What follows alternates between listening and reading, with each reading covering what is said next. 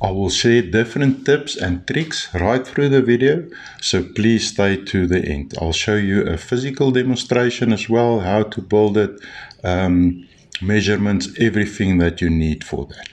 So let's start with the basic operation.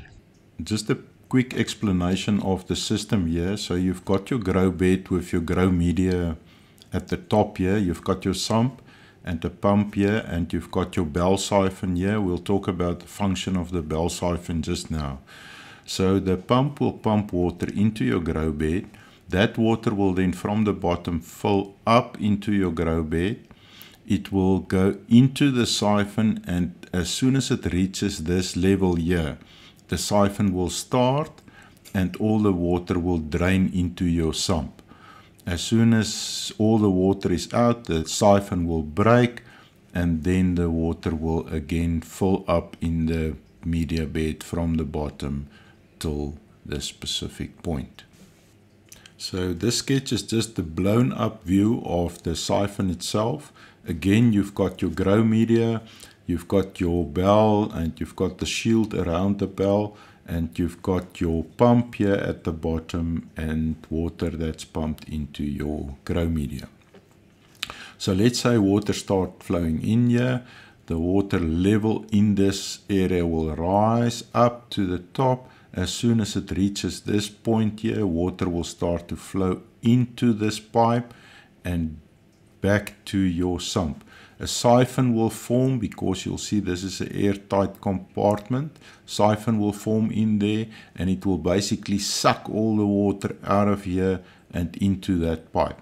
As soon as the water level reaches this point, uh, air will come into this little pipe and into your bell and the siphon will break immediately. Now you'll see some of the bell siphons don't have this pipe with this little cap and I'll show you the physical cap just now after this. And in some cases they struggle to break the siphon. But if you've got this part in I can tell you you won't have a problem. You don't won't struggle with flow rates or anything. Uh, as soon as the water leaves uh, uh, reaches this point the air, the water will be sucked out of this cup uh, air will enter here into your siphon and it will immediately break the siphon there. So here I've got some of the components just to show you. This is the bell itself. Um, you can see it's a 50 millimeter pipe with an end cap there and silicon into a hole here at the top. You just drill a hole of 10 millimeter. This is a 10 millimeter pipe. Um, and that 10 millimeter pipe then ju just go down into this little cap. This is a normal 20 millimeter end cap and uh, it just stops there at that point. You will also see at the bottom of the bell there is uh, some holes for the water to go into this bell. So from this point upwards it's an airtight um, compartment and this siphon will form there then this standpipe will fit into this bell. And something that's important here, the distance from the top of the bell to the top of the standpipe must be about 25 millimeters. This is a 25 millimeter PVC pipe and it will just push into your bulkhead fitting that's at the bottom there at the bottom of your uh, and drain bed. Alright, at the top of the standpipe you've got a just a, a small piece of fitting pushed over that that just widens that opening a little bit and that will help with the start of the siphon although it will work without that as well. This is then 25 millimeter standpipe. The shield itself is a 110 millimeter uh, white PVC pipe. You can see there's some holes on the side there. So as the water fills up in your grow bed, it will start siphoning through that uh, hole, those holes and into your bell part as well. So what will happen is this standpipe, I will push it uh, into the bulkhead fitting and this is just an end cap to cover this the top of the shield so that some of your grow media doesn't fall into the shield. Here you can see the grow media. I've also got a um, video on the selection of the grow media. If you're interested in that, I'll put the link in the description. You'll see with many of these siphon systems, um, it could be a problem. The siphon don't break immediately. It takes a, a, while to break.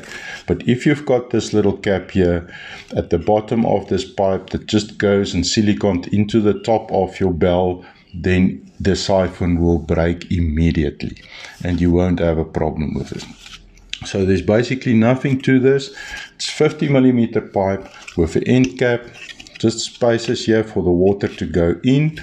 And then you've got your 10 millimeter pipe to the top inserted here, just cable tied to the 50 millimeter pipe with this little um, end plug also at the bottom here. And it works. Just another thing that I can mention is measure this pipe of yours so that it, there's a gap at the top here. If remember, it's inserted there, bell, it's inserted there, and it must reach 25 millimeters from the top there. So here I just want to show you the components. Um, this is in the grow bed now, so you'll see the bell and the standpipe and at the bottom you will also see the drain pipe, short 20 millimeter hose drain pipe. Let's have a look at the components. So I've taken them out of the grow bed. Here you can see the standpipe. The standpipe just fits into the bulkhead fitting at the bottom there. So you just push it in and it stays like that. give it a twist